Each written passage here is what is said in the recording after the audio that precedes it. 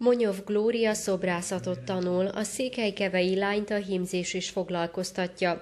A tradicionális népi motívumokat úgy alkalmazza, hogy a hímzett textília a fiatalabb korosztály figyelmét is felkeltse. Az ötleteket és a technikát tradicionális hímzésből, illetve csipkékből, meg abroszokból, amit ezelőtt száz évvel hímeztek vagy vartak. Viszont ezt lefordítom egy mai nyelvre, hogy közelebb hozzam a mostani fiataloknak ezt a technikát.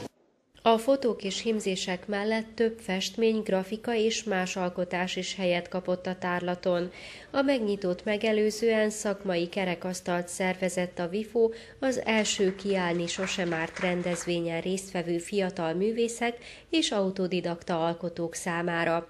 Pesti Emma mentorként igyekezett hasznos tanácsokkal ellátni a pályakezdő alkotókat. Először voltam ilyen szerepben mentorként, talán életemben először adódott ilyen lehetőség, hogy a, saját tapasztalataimat megoszthattam olyan fiatalokkal, akik még rengeteg-rengeteg kérdéssel állnak így a, az élet előtt, és nagyon jó élmény volt számomra, hogy együtt beszélgethettünk, mi mentorok is kérdezhettünk tőlük, ők is tudtak szabadon kérdezni tőlünk. A kiállítást a Vajdasági Ifjúsági Fórum szervezte elsősorban azért, hogy bemutatkozási lehetőséget biztosítson a tehetséges vajdasági fiatalok számára. Két nap alatt meg lett a nyolc személy, aki, aki ma kiállít. Nagyon örültek a felkérésnek, hisz nincs olyan túl sok lehetőségük bemutatkozni, megmutatni magukat.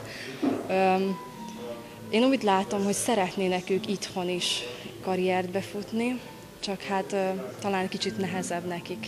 A kiállítás egy hétig látogatható a Népkör Magyar Művelődési Központ körgalériájában.